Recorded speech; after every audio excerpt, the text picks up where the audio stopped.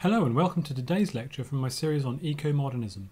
Today I'll be looking at carbon capture and storage. The age of renewable clean energy is fast approaching, but not quite fast enough. In earlier presentations we looked at problems with providing all our energy requirements from renewable sources, and also at the difficulties of energy storage. It seems likely that, at least for the next few decades, we are going to need to keep burning fossil fuels to keep ourselves running as a society, until the replacement technologies come online. So in order to hit the net zero goals for 2050, we are definitely going to need to find a way to remove the pollutants from fossil fuel burning as quickly as possible.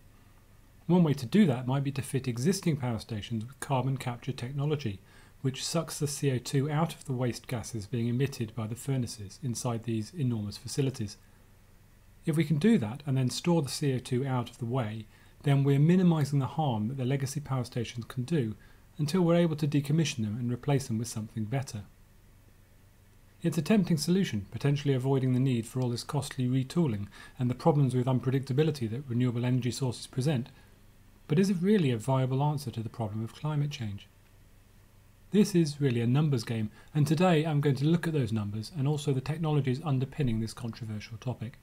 Let's get started. Before we talk about carbon capture, it might first be worth looking at the carbon cycle. We've been covering the various technological approaches to solving climate change for several lectures, but I never really covered what the underlying issue with climate change is. That's largely because I'd assume pretty much everyone understands it at this point in history, but also because it's not really all that important. We're in a predicament, we know pretty much why and what needs to be done, and this lecture series is about the various ways we can solve the problem, not about the problem itself. In some sense, we all really need to know that there is a number, the concentration of carbon in the atmosphere in parts per million. That number is currently too high and it's getting higher. We need to make it significantly lower as soon as possible.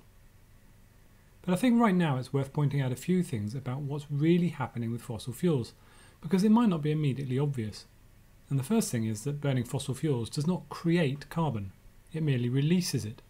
Carbon is one of the main components of organic life, it's been on the Earth since way before life began, and life started based on carbon because it has some specific properties that really make it suitable for the processes that life requires.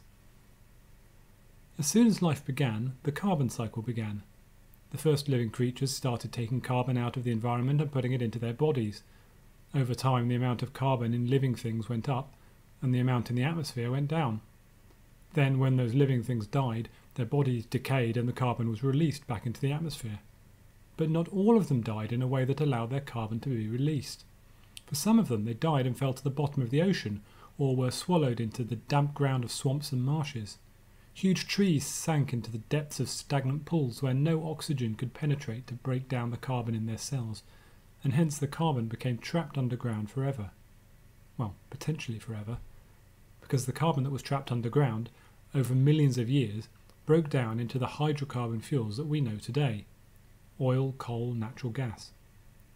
In a sense, the forests of 200 million years ago were the original carbon capture and storage technology on Earth. Plants captured carbon from the atmosphere, as they do today, and then when they died, they stored it underground in vast deposits, keeping it out of the atmosphere permanently. Well, until humanity came along and started extracting that stored carbon because it turned out that it was a fantastic source of energy. So bit by bit, we started releasing the carbon back into the atmosphere. If we could reproduce the process that created the oil, coal, and gas in the first place, then we could surely reverse the damage that the burning of fossil fuels has caused. Carbon capture is the part of that process that involves taking carbon out of the air or out of the waste pipes from fossil fuel burning power stations and then somehow storing it away somewhere safe. Often that means funneling it underground. We don't have millions of years to do this, so we need to find a way to speed up this process considerably, and that's where science comes in.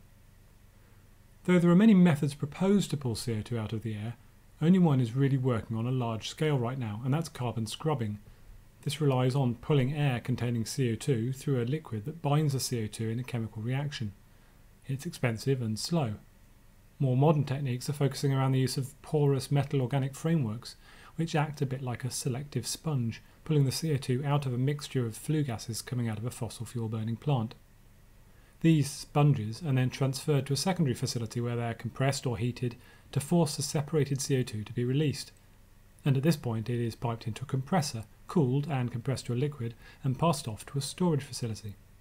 The technology is in the early stages, and so it would be a risky bet to say that it's likely to have much of an impact on the atmospheric CO2 concentrations in time to prevent the worst effects of global heating. But let's look at some of the figures from this rather lengthy paper published in 2018. The authors estimated the cost of fitting carbon capture, transport, and storage systems onto existing power plants from a wide literature review and came up with the following figures. For coal fired power, the cost to extract one tonne of CO2 is between 41 and 62 US dollars. When adding in the cost of transport and storage, for reasons that make no sense to me, the minimum numbers drop to $24 per tonne for the entire process. This is how much it costs to avoid one tonne of CO2. The maximum is $110 though, so let's take the average of $67 per tonne. For oil, let's just take the cost for refineries, an average of $83 per tonne, and for gas, the average cost is $91 per tonne. This is a graph of annual CO2 emissions by fuel from the ever wonderful Our World in Data website. Values for last year are approximately 14 billion tonnes of CO2 from coal, 12 billion tonnes from oil, and 8 billion tonnes from gas.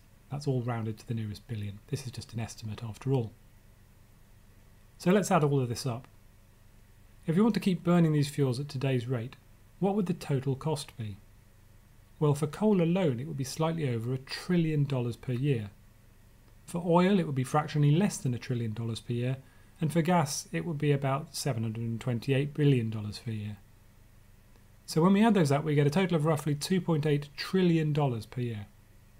Also, bear in mind that research shows that CCS systems reduce the efficiency of these power generation plants by roughly 10%, so we would also have to increase our fuel burning by more than another 10%, with further CCS costs to make up for that we wouldn't basically get any change from $3 trillion per year. And we're still only capturing roughly 80 to 90% of the carbon because these systems are not 100% effective. Maybe we can reduce the cost of these systems with economies of scale and drive that down to 2 trillion or even 1.5, but that still sounds like a fair bit more than we're willing to pay. Ignoring the cost, let's continue. For sake of argument, say that we've managed to find a way to capture huge amounts of CO2 and now we need to find somewhere to put it to keep it out of the atmosphere permanently. We need somewhere stable and predictable where we can maintain a large pressure for a long period of time without leakage. The storage location also needs to be large enough to store cubic kilometres of carbon dioxide and geologically stable. Oh, and we need to be able to get at it relatively easily. We currently emit roughly 36 billion tonnes of CO2 per year globally. CO2 in liquid form has a density of 1,101 kilograms per cubic metre, which means that the 36 billion tonnes we emit would take up just over 30 cubic kilometres of space. And it only exists at pressures more than 5.1 times atmospheric pressure, so you can't just shove it in a lake somewhere and forget about it. Besides, that's a big lake.